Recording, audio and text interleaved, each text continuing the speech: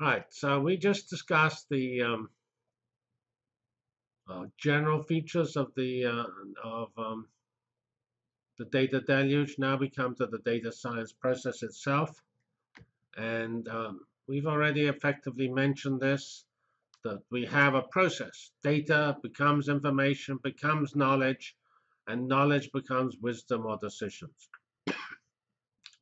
Note as this, um, there are various features of this process. We have incredible amounts of data. Often the wisdom or, or decisions are actually small amounts of data, smaller, sorry, small numbers of bytes or bits. So as often as we go down this um, pipeline from data to wisdom, the volume of bits goes down.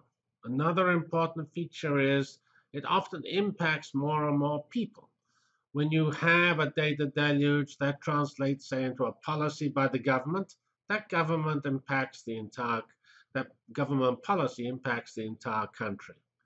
And so that's another feature. The, the community gets involved when we get down to wisdom or decisions because the community has to endorse the wisdom. And um, we get the decision that who somebody has become president, that is a decision by the community we make some physics decision that the Higgs boson has been discovered. That is a physics community decision based on inspection of the data to knowledge uh, pipeline established by the different experiments at the Large Hadron Collider. Uh, this um, pipeline is illustrated here on this figure I drew a long time ago which actually has uh, the raw data, the data, the information, the knowledge, the wisdom decisions pipeline.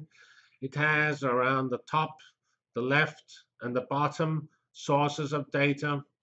Uh, aircraft, that's aircraft engines, we'll see is an important source of data. Um, sensors,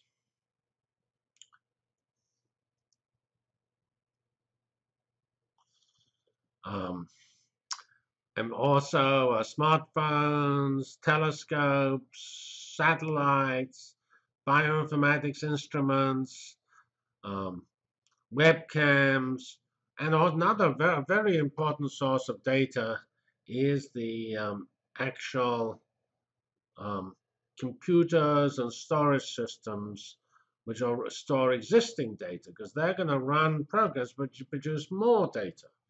So an important source of data is other data. And when that's in fact the whole feature of the pipeline. The pipeline is data, the data prime, the data double prime, the information, the information prime, the information double prime.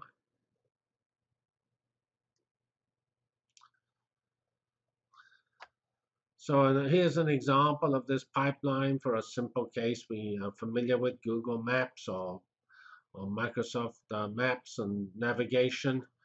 Um, then the maps come sort of originally built out from data. Those data come from satellites, which will be the nice overlays that you can put onto maps. The, the street cams that tell you what's going on. The USGS, um, that is effectively information. And that map data is presented, you could say, as information by the Google Maps web page. When do we get knowledge? Well, you will then press the button saying, present me the route from position A to position B. That's knowledge, that route. Then we come to a decision that we will then decide based on different uh, routings that have been presented to you, which route what you're going to do. That That's your decision. So we see in this simple case how we go from from raw data through decisions. Note the actual routing algorithm is pretty non-trivial to actually decide what the optimal uh, route is and quite uh, quite difficult.